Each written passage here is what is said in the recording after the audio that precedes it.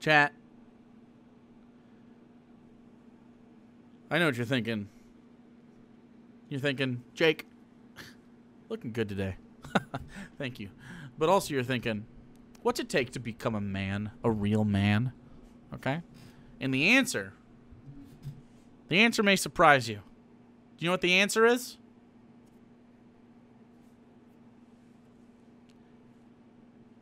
Just get married, idiot. Just get married, idiot. Let's get married, chat. Down for manly PragerU? Thanks, Nintendo Power. First, you have to invert the bussy. That no, no, no, no, no, no, no. Different. This is different. This is this is. If you if if you don't, this is uh, actually uh, trans fellas. Just get married, stupid. Marriage might have been fine for your parents or grandparents, but of what value is it today? Isn't it, as more and more young people seem to be saying, just a piece of paper? Yes. Well, it turns out that piece of paper might be the most valuable thing you will ever own. Besides your wife. Hey, ba ba bow. Uh, I thought the answer was to fetishize lesbians and eat shitty Dorito. Yes, true, true, true. Uh, Brad Brad Wilcox here. Chad, coming to tell you, bitch boys, that you better go. You better go fucking get married, or you're not a man. I already got married, and then you told me to double marry him. True. True. Is it just me or does he look like a thumb? What are you talking about? This is a picture of a thumb. What do you mean? I haven't shown you a picture of a man yet. Come on. Come on, Sushi Mom. Pay attention. This is a picture of a thumb. Jeez. Oh. Do, I'm tired. I'm tired of watching this for you. Okay. I need you to pay a little bit of attention sometimes too. Okay. He's an extra from Spy Kids. God damn it.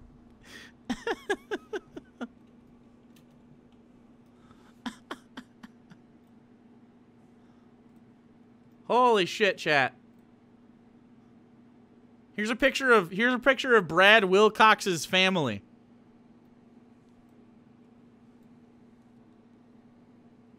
A family man, Brad Wilcox is. He's got a nuke. I mean, the mom is taking the picture. It's a nuclear family, though.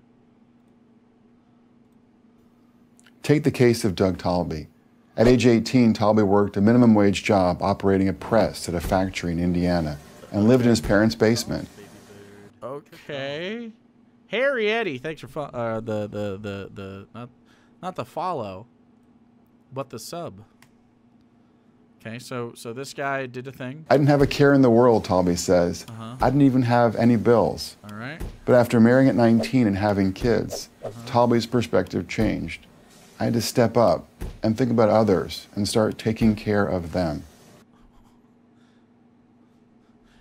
This just in, adult gets married, finds out he has to adult. Oh! Oh no! Tommy quit his factory job and joined the Army, where he made significantly more money and received housing and health care paid for by the military. If you knock your high school girlfriend up, join the military. Whenever he saw a chance at promotion, he pursued it.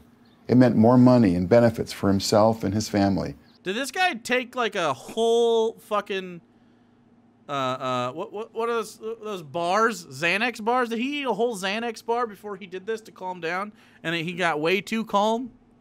I'm not getting a lot of I'm not getting a lot out of this. If I'm totally honest. Join the military so your girlfriend can have a chance to come once in her life. Wow, Holly. Wowzers.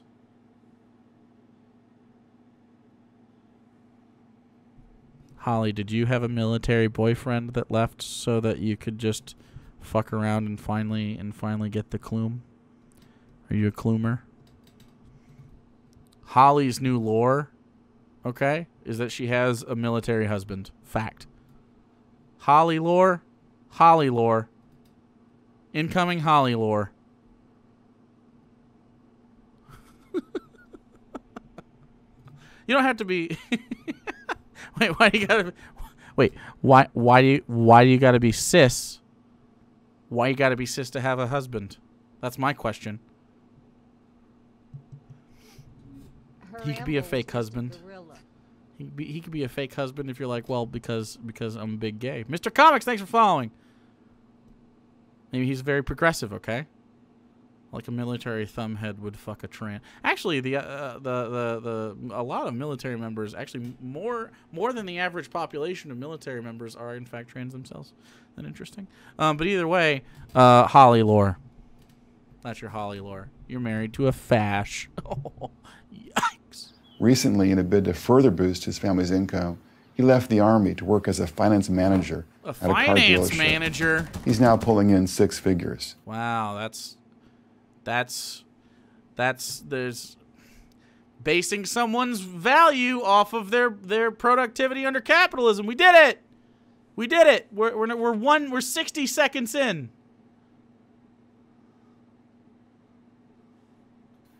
Men who see no need to marry or who are reluctant to marry until they make more money could benefit from Talby's discovery.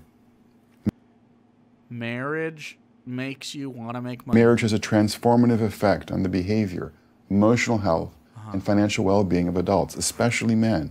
Okay. Men who get married work harder and more strategically. What about what you see on your screen right now doesn't seem like I work hard or strategically, chat? Come on.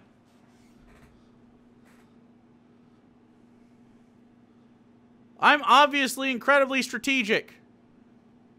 Yes, Lady Raincloud is our resident uh, military vet uh, uh, trans uh, mod. Why did I want to say um, fan instead of mod? I don't know. When you get married, you ascend to a mega chad. Holy man. That's how I do it, chat. That's how it happens. And earn more money than their single peers from similar backgrounds. Marriage also transforms men's social world. They spend less time with friends and more time with family. That sounds fucking awful. Uh, s- saying a lot of stuff and not showing a lot of data seems legit. They go to bars less and to church more. Ooh. In the words of Nobel Prize winning economist George Akerlof, men settle down when they get married. If they fail to get married, they fail to settle down. No. No. When you become married, you get uh you become a mega chad. I'm a mega you of course are a mega chad. Okay? Okay? Finds a new boyfriend at church? Damn right. Yeah, dude. Hey, if you want to get married, go for it. If you don't want to get married, I don't care either.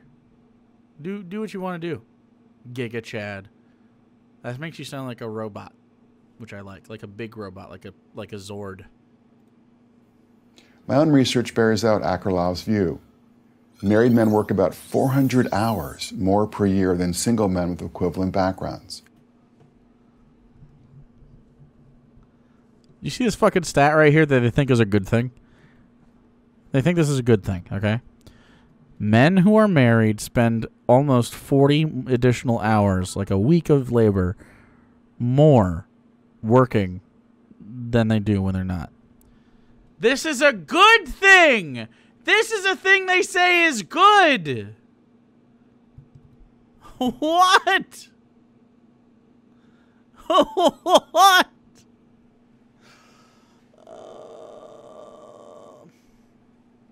There's two reasons for this. Two, only two reasons. The number one reason is families are fucking expensive.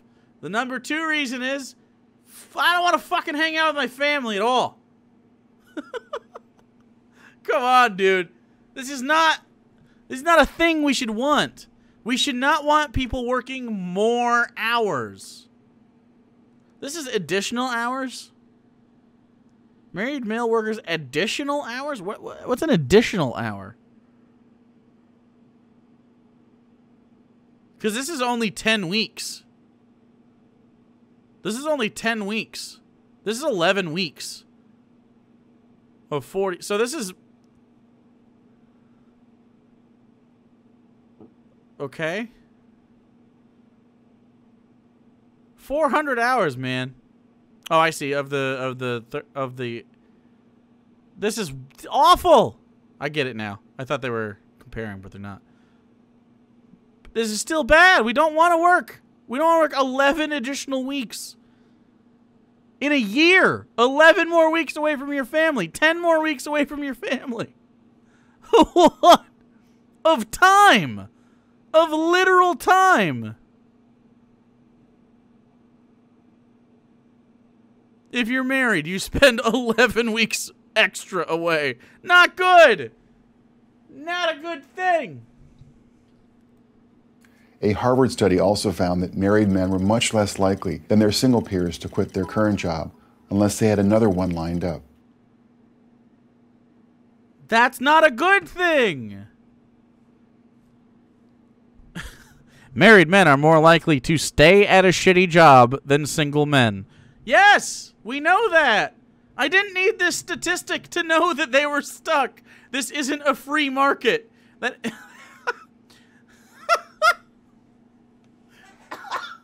Imagine thinking this is a good thing.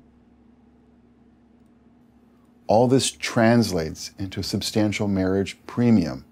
On average, married men earn almost 20% more than their single peers. They only earn 20% more than their single peers? That's $5,000 per loved one. That's it. How much does it cost you to have a kid?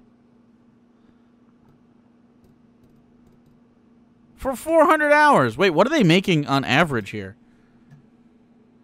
Hold on. Let's break out the old calculator. Calc. Calculator. Calculator. So 400 divided by 18824. I did that the wrong way. I did that the wrong way. Shut up. 18824 divided by 400. At 40 years old, they're making $47 an hour. $47 an hour. That's overtime. So this is time and a half. No one's going to want families now, bro. Because this is additional hours per year, right? This was 10 extra weeks of work. At 47 bucks an hour. Fuck that, dude. That's even after controlling for differences in education, race, ethnicity, and other background factors. You can read more. Prager Prager U was surprised to find out that black people also succeed. They're like, well, isn't this weird? Is it weird that the gays are just totally fine as well? Odd. We have to point that out to our conservative neighbors. Do you know race and ethnicity has nothing to do with how much money? Fuck's sake, bro. Come on, man. more about this in my study, For Richer for Poorer How Family Structures Economic Success in America. Oh, buddy. Why is there such a substantial marriage premium? There are at least four important reasons. One, after marrying, men assume a new identity. Marriage is one of the last rites of passage into manhood remaining in our society, argues sociologist Steven Nock. He found that marriage engenders an ethic of responsibility among men, Gotta love bootstraps, bro. as well as a newfound sense of meaning and status in the world. Two, married men are motivated to maximize their income. This means having a Why is that a good thing? This isn't a good thing to maximize your income. Different attitude toward their job. Toward capitalism. They work more hours and make better work choices. Dude, how do they think this is an argument that is good? Getting married means you win capitalism. I guess so.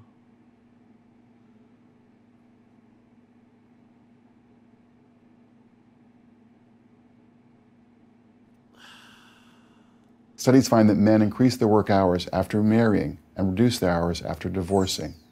Sociologist Elizabeth Gorman concludes that married men are more likely to value higher paying jobs than their single peers. Yeah, because a single person goes, I like my freedom.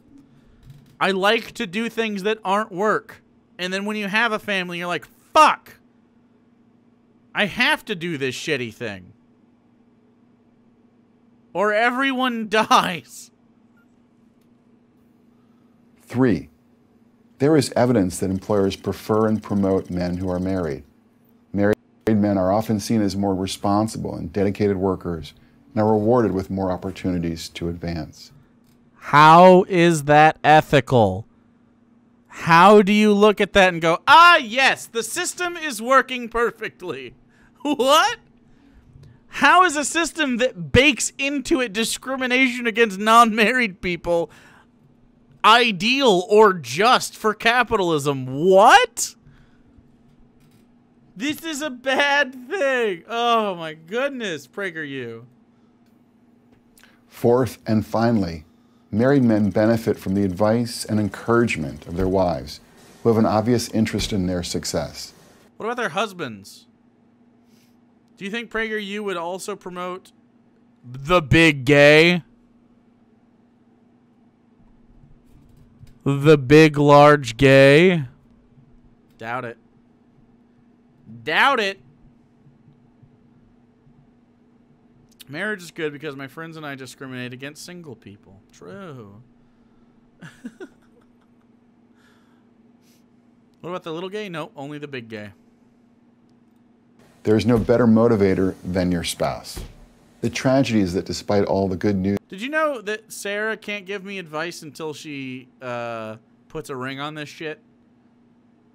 And then after that, I'll definitely, totally listen to her. as we keep learning about the benefits of marriage, the institution is in retreat. In 1960, 72% of all adults ages 18 and older were married. Today, it's 49%. Yes. Simply yes. I wonder if one of, how uh, how one of these videos by Praker would go about the advantages of getting married for women. Hmm, interesting. In 1960, the average age at which men married was 23. Today, it's 29. Yes. Yep. Still, still yes. The consequences of this are negative across the income spectrum, No. but they are especially so for those in the lower and middle classes. Marriage is a clear path to a better life. It always has been, and now we have plenty of data to confirm it. No. That was that was data that shows marriage is a sham. What? What? But if you still don't believe me, just ask Doug Talby and millions like him. I'm Brad Wilcox, Associate Professor of Sociology at the University of Virginia for Prager University. This guy's a sociologist? That's so fucking disappointing, dude. Sociology is a dog shit profession, for the record. Fuck all sociologists. I'm just kidding. Um, sociology has a big, big role in uh, history, so I had to take a lot of sociology courses. Um, so, in order to determine whether or not a thing is good or bad, you, you, you, you, you, you have to you have to apply a certain a, a certain framework to it, right? To determine the, the the ideal outcome. And so the ideal outcome in this scenario would apparently is how much money the man makes at work. And ap- apparently uh, by no sociological standard I've ever seen, he considers more time spent working to be a positive thing, which I can't imagine any poll. I don't think you could. Good call, baby bird. Good call. If you pulled any population of people, I don't feel like you get the majority saying, yes, I would prefer to be at work more than I would prefer not to be at work. What? Nintendo Power, thanks for the month. Thanks for the year. Yeah, this is bad. This is bad. Not good. Prager, PragerU could have done a lot better.